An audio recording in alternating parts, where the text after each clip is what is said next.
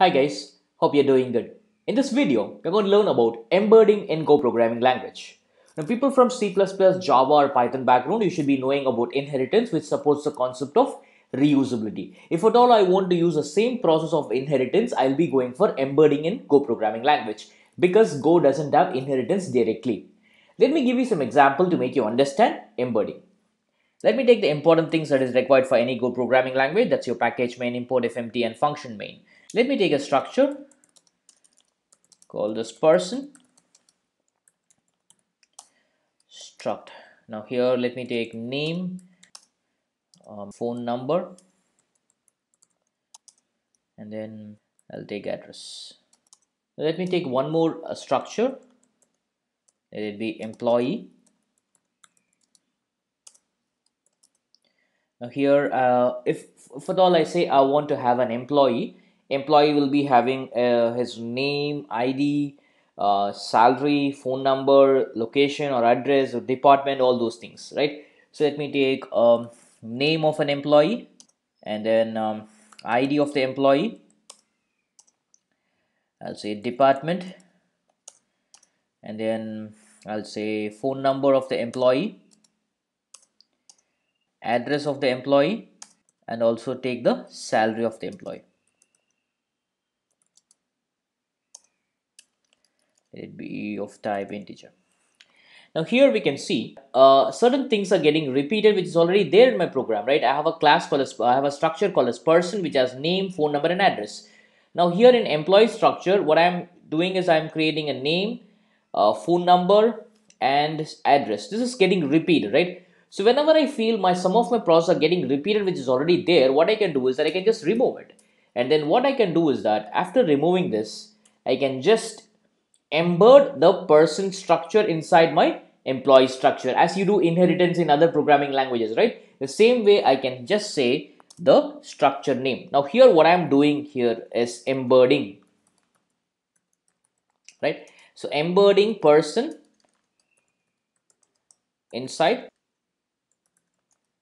employee right so i'm embedding the structure person inside the employee structure now here what happens I'm reusing the code which is already there. So let me create some methods to get input for person and employee class.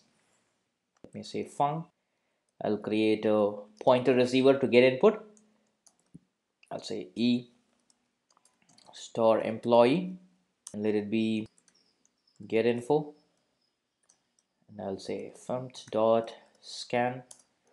I'll be getting input for e dot name id then I'll get input for name id department. Let me get input for phone number. And then address. I think I forgot to get input for salary so let me get need of salary right everything is perfect so I'm going to get input for name, ID, department, salary, phone number and address. Let me create one more method. Let it be value receiver because I'm not going to change anything. Let me change the method name to set info and get info. Here I'll say fmt dot println and here let me say name of the employee. Let it be e dot name.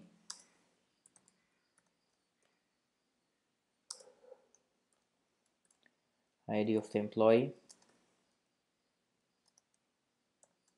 Dot id let me put department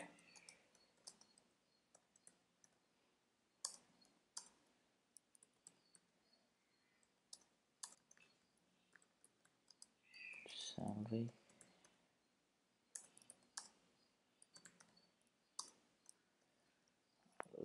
the phone number.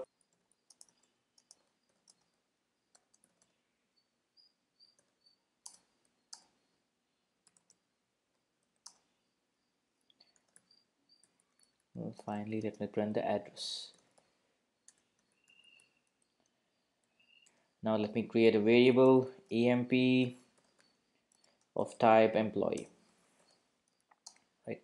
So I'll say if I want to call any of these methods I'll say emp dot first let me do set info and I'll say emp dot get info.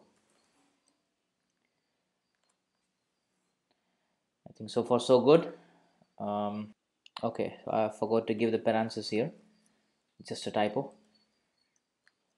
That's it yeah everything is fine. Let me run this code for you. I'll say go run embedding go example. So first I have to get some input. I'm getting input for name ID department and then salary phone number and address.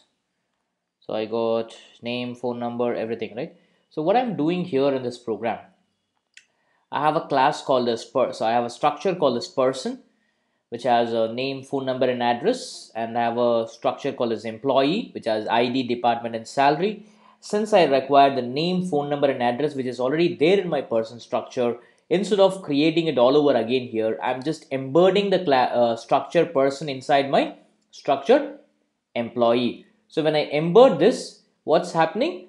All the data, which is uh, all the, the, the data which is there inside my person structure, which is getting embedded inside my employee structure. So once it is getting embedded, it means that I can access all my data which is present inside my structure class with the help of employee class itself. That is what you're seeing here. I'm creating a variable of type employee and I'm calling the method set info with the help of employee uh, variable. Now here I am getting input for name, uh, uh, what phone number, address. All these things are there in my person structure, not in my employee structure. Even though it is not there in my employee structure, I can access it because I've embedded my person structure inside my employee structure, right? So this way I am reusing the code which is already present, right? So it is almost similar to your inheritance in your other programming languages right? So when i do this the properties of all the properties of the person structure is getting embedded inside my employee structure. So with the help of employee variable i can access my person data got it?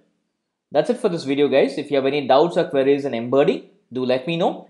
In the comment section i'll definitely get back to you. If you like this video please give it a thumbs up and don't forget to subscribe to my channel. Thank you very much.